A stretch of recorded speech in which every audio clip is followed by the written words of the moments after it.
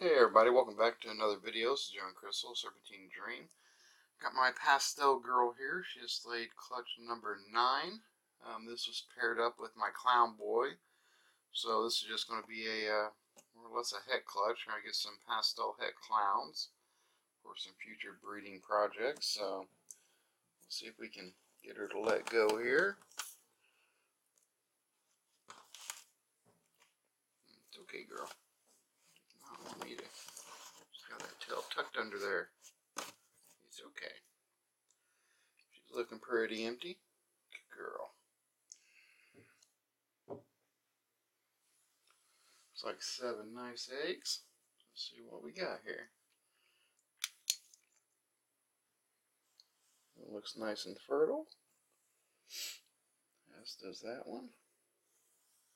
Looks like a good one. Another good one. Yep. Those beautiful veins. Alright, they've all got veins, so cross our fingers there, like I said, to try and get some uh, pastel het clowns out of this. But mark them just in case any of them trying to move around on me.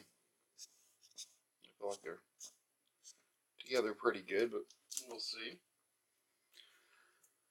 So that's clutch number nine, so can't complain. Decent clutch. So, all right. Hopefully, we'll uh, get one or two more clutches out of these girls. And uh, make sure you like and subscribe if you haven't already. And uh, we'll see you on the next video.